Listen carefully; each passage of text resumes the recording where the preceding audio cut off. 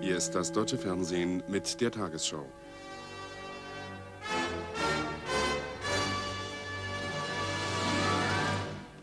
Guten Abend, meine Damen und Herren. Israel beharrt auf seinem Einfluss in den besetzten arabischen Gebieten. Vor der Knesset, dem Parlament in Jerusalem, hat Ministerpräsident Begin heute seinen Friedensplan erstmals in allen Einzelheiten dargelegt. Dieser Plan ist ganz zugeschnitten auf die Sicherheit Israels und den Schutz der israelischen Siedlungen in den besetzten Gebieten. In seinem Kern sieht er für den Gazastreifen und Westjordanien eine zivile Selbstverwaltung vor. Allerdings wollen die Israelis dort für die öffentliche Ordnung zuständig bleiben und die Frage der Souveränität über die Gebiete offen lassen. Die Sinai-Halbinsel soll nach ihren Vorstellungen entmilitarisiert werden. Einige Einzelheiten. Die Bewohner von Westjordanien und dem Gazastreifen sollen zu ihrer Selbstverwaltung einen elfköpfigen Rat mit Sitz in Bethlehem wählen. Sie, äh, Verzeihung, sie sollen entscheiden können, ob sie die israelische oder die jordanische Staatsangehörigkeit annehmen wollen. Die Israelis sollen in den jetzt noch besetzten Gebieten weiter siedeln dürfen, Araber mit israelischer Staatsbürgerschaft auch in Israel. Die israelischen Siedlungen im Sinai sollen auch nach einem militärischen Rückzug unter israelischer Verwaltung bleiben. Die ägyptische Armee soll sich verpflichten, östlich der strategisch wichtigen Pässe Mitla und Gidi keine Truppen zu stationieren. Die freie Zufahrt nach Elat durch die Straße von Tiran schließlich soll international garantiert werden.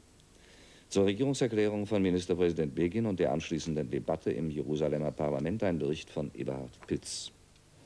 Es war gemessen an der üblichen Praxis hier in der Knesset in Jerusalem heute mit 48 Wortmeldungen eine Marathonsitzung, in der Premierminister Begin seine Verhandlungsvorschläge an Ägypten nun auch dem Parlament und damit der israelischen Öffentlichkeit enthüllt hat. Fazit, sensationelle neue Einzelheiten hat er nicht bekannt gegeben. Und schon vor Beginn der Sitzung stand fest, dass am Ende der Debatte Begins Politik mit Mehrheit gebilligt werden würde. Zwei Punkte hat Begin heute etwas deutlicher gemacht. Ein Rückzug aus dem Sinai kommt nur in Etappen in Frage und in der Westbank und im Gazastreifen sollen die Menschen neben eigener Zivilverwaltung auch die Möglichkeit bekommen, zwischen israelischer und jordanischer Staatsangehörigkeit zu wählen. Wenn Begin auch betonte, dass man nun eben weiter verhandeln müsse, so hat die Debatte heute gezeigt, dass viel weitergehende Lösungen in Israel politisch nur schwer durchzusetzen sein würden. Begins Politik hat die parlamentarische Hürde heute problemlos genommen weil Oppositionsführer Perez die Arbeiterpartei zur Stimmenthaltung verpflichtet hatte. Das heißt nicht, dass er keine Einwände hätte.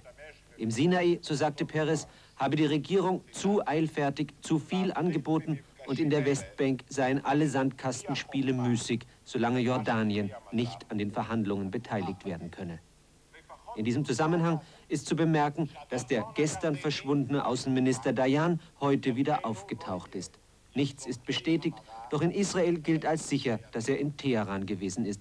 Der Schah konferiert bekanntlich demnächst mit König Hussein. Heute draußen vor der Knesset, gestern vor dem Büro Begins. Die Proteste der Siedler, die um ihre Zukunft bangen, werden nun immer heftiger. Wir leben in ihr mit. Wir sind fast alle Neueinwanderer. Wir wollen den Ort nicht verlassen. Wir sind mit dem, was da sich hier abspielt oder mit dem, was bis jetzt an die Öffentlichkeit gedrungen ist, nicht einverstanden. Und vor allen Dingen sind wir mit dem nicht einverstanden, dass wir nicht voll aufgeklärt worden sind, was mit uns ist, was mit dem Landstrich da unten ist. Wir wollen weder unter der UNO-Verwaltung leben, noch wollen wir unter ägyptischer Verwaltung leben. Wir sind ein Teil von Israel und wir gehören zu Israel und wir wollen auch bei Israel bleiben. Der ägyptische Präsident Sadat hat inzwischen noch einmal klargemacht, dass er den israelischen Friedensplan in seinen Kernpunkten nicht annehmen könne. Das gelte für eine Entmilitarisierung der Sinai-Halbinsel ebenso wie für eine zivile Selbstverwaltung in Westjordanien und im Gazastreifen, in der die Israelis für die öffentliche Ordnung verantwortlich blieben. Trotzdem zeigte sich der ägyptische Präsident bei seinen Gesprächen mit Bundeskanzler Schmidt zuversichtlich. Der Bundeskanzler bestärkte Sadat und stellte in Aussicht, dass zu gegebener Zeit die europäische Gemeinschaft einen angemessenen politischen und wirtschaftlichen Beitrag zur Festigung eines Friedens im Nahen Osten leisten werde. Eine direkte Rolle der Bundesrepublik im Prozess der Friedenssuche schloss Schmidt auf einer abschließenden Pressekonferenz aus. Die besondere Verantwortung liege nach wie vor bei den USA und der Sowjetunion. Bundeskanzler Schmidt hatte auf einem Festbankett gestern Abend die Reise Sadats nach Israel und seine Rede vor der Knesset, dem israelischen Parlament in Jerusalem, als eine historische und mutige Entscheidung gewürdigt. Er hoffe, dass sich bald alle vom Nahostkonflikt betroffenen Völker an dem Friedensprozess beteiligen. Zudem Galadine im Abdin-Palast, der prunkvollen Residenz früherer ägyptischer Herrscher, waren zu Ehren der Gäste aus der Bundesrepublik über 500 Politiker, Geschäftsleute und Künstler geladen. Bundeskanzler Schmidt wiederholte die Grundsätze der Europäischen Gemeinschaft, dass es keinen Gebietserwerb durch Gewalt geben dürfe. Jedes Volk im vorderen Orient müsse in anerkannten Grenzen leben und die legitimen Rechte der Palästinenser durften nicht verletzt werden. Die Bundesrepublik trete für das Selbstbestimmungsrecht der Palästinenser ein, weil, so Schmidt wörtlich, wir dieses Recht auch für uns selber beanspruchen. Präsident Sadat dankte dem Bundeskanzler für die Zusicherung, dass die Europäer seine Friedensbemühungen aktiv unterstützen wollen. Für den Bundeskanzler ist die Ägyptenreise mit einem großen touristischen Programm verbunden. Heute besuchte er die Sphinx und die Pyramiden von Gizeh in der Nähe von Kairo. Nach dem Stocken der Konjunktur im Herbst zeichnet sich zum Jahresende wieder eine leichte Besserung ab. In seinem Monatsbericht zur Wirtschaftslage meldet das Bundeswirtschaftsministerium heute, dass eine regere Bautätigkeit sowie vermehrte Bestellung von Investitionsgütern, allerdings nur aus dem Inland, die Erholungstendenz bewirkt habe. Die schwierige Situation auf dem Arbeitsmarkt sei dadurch jedoch nicht erkennbar beeinflusst worden. Zur Konjunkturentwicklung äußert sich heute auch die Arbeitgeberseite. Das ihr nahestehende Institut der deutschen Wirtschaft legte die Ergebnisse einer Branchenumfrage vor. Nahezu einhellig machen die Verbände den Verlauf des kommenden Wirtschaftsjahres von den bevorstehenden Lohnrunden abhängig. Je höher die Abschlüsse, so heißt es, desto geringer die Chance, das erhoffte Ziel auch zu erreichen. Nur wenn der Kostendruck gedämmt werde, könne das Inlandsgeschäft belebt und die Stellung auf dem Auslandsmarkt behauptet werden. Konkret die Unternehmer fordern höhere Gewinne, ohne die sie im kommenden Jahr wohl kaum mehr investieren werden. Investitionen aber sind dringend nötig, um einige lahmende Wirtschaftsbereiche wieder in Schwung zu bringen. Das gilt vor allem für den Maschinenbau. Diese exportintensive Branche leidet gleich zweifach. Unter der schlechten Konjunkturentwicklung der meisten westlichen Länder und unter der Investitionsmüdigkeit der deutschen Unternehmer. Die bisher bekannt gewordenen Lohnforderungen würden diese Investitionsabstinenz noch verstärken, heißt es. Mit ähnlich düsteren Aussichten gehen auch die Bekleidungsbranche, vor allem aber die Eisen- und Stahlindustrie, der Bergbau und die Mineralölwirtschaft ins kommende Jahr. Weniger schwarz sehen die elektrotechnische, die feinmechanische und die optische Industrie sowie die Kunststoffbranche. Diese Wirtschaftsbereiche rechnen mit Zuwachsraten auf der Höhe des Vorjahres. Optimismus auch in der Bauindustrie. Die Auftragseingänge, nicht zuletzt aus dem Milliardenprogramm der Bundesregierung, lassen für 1978 eine Steigerung der Bautätigkeit um drei bis fünf Prozent erwarten. Die größten Probleme sieht man hier im hohen Bedarf an Facharbeitern, der schwer zu decken sein wird.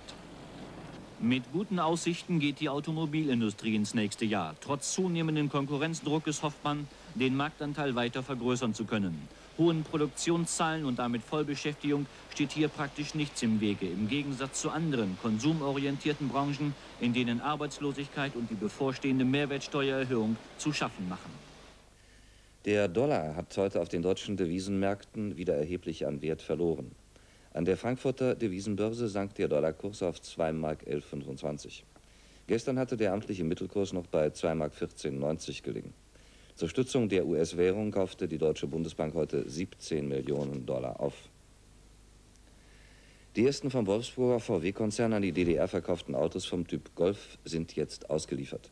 Unser Korrespondent Lutz Lehmann entdeckte in Ostberlin einige von insgesamt 10.000 Stück. Sie stehen in der Rummelsburger Straße im Ostberliner Bezirk Lichtenberg. Die ersten VW Golf, die aus Wolfsburg in der DDR eingetroffen sind. Sie stehen auf dem Hof des Automobilauslieferungs- und Reparaturwerks IFA der DDR, aber sie stehen wie versteckt hinter einer ganzen Reihe von Volvo-Limousinen und von unserem Standpunkt aus können wir also nur das Dach eines der etwa 40 bis 50 verschiedenfarbigen Golffahrzeuge erkennen. Der Korrespondent der Nachrichtenagentur Reuters will hier erfahren haben, dass die ersten 30 Fahrzeuge des Golf bereits in der DDR ausgeliefert sein sollen. Aber eine Bestätigung für diese Nachricht war nicht zu erhalten. Andererseits hört man hier, dass die Betriebe aufgefordert worden sein sollen, billige Kredite an ihre Mitarbeiter zu geben, um auf diese Weise den Kauf dieses doch in der DDR äußerst teuren, aber eben sehr beliebten Fahrzeuges zu ermöglichen. Kredite, von denen es heißt, dass sie mit nur 1% verzinst werden sollen. Daraus könnte man schließen, dass die DDR interessiert daran ist, dass der Golf hier, wo viele Menschen ihn kaufen wollen, wo er mit 30.000 Mark aber eben doch ein extrem teures Auto ist, nicht nur ein Fahrzeug für finanziell Privilegierte wird. Die DDR hat in den Wochen vor Weihnachten rund 80 Bundesbürger und Westberliner aus der Haft entlassen. Wie heute in Ostberlin dazu verlautete, gehören sie zu dem Personenkreis, den die Bundesregierung bei finanziellen Gegenleistungen jährlich in den Westen zurückholt. Die 80 Entlassenen waren wegen Fluchthilfe, Devisenvergehen bzw. Verkehrsdelikten zum Teil zu langjährigen Freiheitsstrafen verurteilt worden.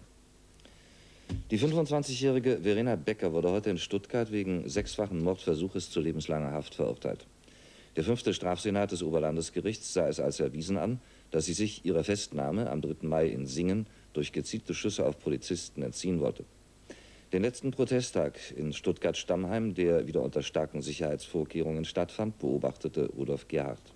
Dieser von der Öffentlichkeit wenig beachtete Prozess, der erst beim Urteil wieder einige Zuschauer anlockte, ging glatt über die Bühne, zu glatt nach Ansicht eines der Verteidiger, der von der Demonstration eines Schnellverfahrens gesprochen hatte, ein Vorwurf, den der Gerichtsvorsitzende am Schluss seiner Urteilsbegründung zurückwies. Im Prozess gegen Verena Becker ging es um eine Tat, die sich vor vielen Augen abgespielt hatte, um Schüsse und Verletzungen, die gehört und gesehen wurden, nicht um ein mühsames Mosaikbild von Beweisen wie im Bader-Meinhof-Prozess. Und für den Schuldspruch blieben bis zuletzt nur die allerdings entscheidenden Fragen umstritten, wie oft sie geschossen hatte und in welcher Absicht. Um die Polizisten zu töten oder nur um sie zu verletzen, wie die Verteidiger gesagt hatten. Das Gericht hat in der mehr als einstündigen Urteilsbegründung die Tötungsabsicht als erwiesen angesehen. Es hat die verschiedenen Mordversuche bejaht. Es hat insgesamt gesehen eine Milderung der lebenslangen Freiheitsstrafe abgelehnt. Alles, was den Prozess verlängern, was ihn komplizieren, was ihn hätte schwerfällig machen können, blieb draußen vor der Tür. Der offenbar schwer beweisbare Bubak-Mord, die Beteiligung an der kriminellen Vereinigung und die möglichen Motive für die Schüsse, also das gesamte ideologische Umfeld der Tat. Mit ihrer Auswahl unter den Anklagepunkten hat die Bundesanwaltschaft zugleich den Kern von Gesetzesänderungen erprobt, die derzeit in Bonn erörtert werden. Sie sollen ermöglichen, Anklagepunkte mehr als bisher nach Gewicht und Beweisbarkeit zu sieben und sie sollen auch nach dem Urteil neue Anklagen ermöglichen, wenn sich Beweise für weitere Straftaten finden. Noch einige Meldungen aus dem Ausland. Der vor drei Wochen gestürzte portugiesische Ministerpräsident Soares ist heute in Lissabon von Staatspräsident Eanes abermals mit der Regierungsbildung beauftragt worden. Vor Journalisten sagte Soares, es werde sehr schwierig sein, mit den anderen Parteien eine Lösung zu finden. In Lissabon wird vermutet, dass die Sozialisten als stärkste Partei versuchen werden, durch die Aufnahme einzelner Persönlichkeiten anderer Fraktionen in die Regierung eine formelle Koalition zu umgehen. Howard Hawks, einer der erfolgreichsten amerikanischen Filmregisseure, ist gestern in Palm Springs in Kalifornien im Alter von 81 Jahren gestorben. Zu seinen bekanntesten Filmen gehören die Western Red River und Rio Bravo sowie der Film mit Marion Monroe Blondinen bevorzugt. Zum zweiten Mal innerhalb von sechs Tagen ist in den USA ein Getreidesilo explodiert. Diesmal wurden mindestens zehn Menschen getötet und 24 verletzt. Der Silo von Galveston in Texas war erst vor zwei Jahren gebaut worden und hatte ein Fassungsvermögen von 8,5 Millionen Hektolitern. Die Feuerwehr vermutet, dass sich der gashaltige Weizenstaub durch elektrostatische Aufladung entzündete. Die Explosion war im Umkreis von über 100 Kilometern zu hören. Aus Frankfurt die Wettervorhersage für morgen Donnerstag, den 29. Dezember. Das Tief über der deutschen Bucht verlagert sich unter Abschwächung südostwärts. Es führt in die westlichen und südlichen Teile Deutschlands kalte Meeresluft, in den Norden vorübergehend kontinentale Luft. Die Vorhersage für morgen. Veränderliche bis starke Bewölkungen und Schauer. In den Niederungen meist als Regen oder Schneeregen, im Bergland als Schnee in höheren Lagen auch am Tage, in den Niederungen morgens stellenweise Straßenglätte. Tiefstemperaturen um den Gefrierpunkt. Im höheren Bergland Dauerfrost. Tageshöchsttemperaturen um plus 3 Grad. Im südlichen Teil Deutschlands mäßiger, besonders im Bergland böiger südwestlicher, auf West bis Nordwest drehender Wind. Im Norden frischer bis starker, in Böen stürmischer Wind aus Nordwest bis Nordost.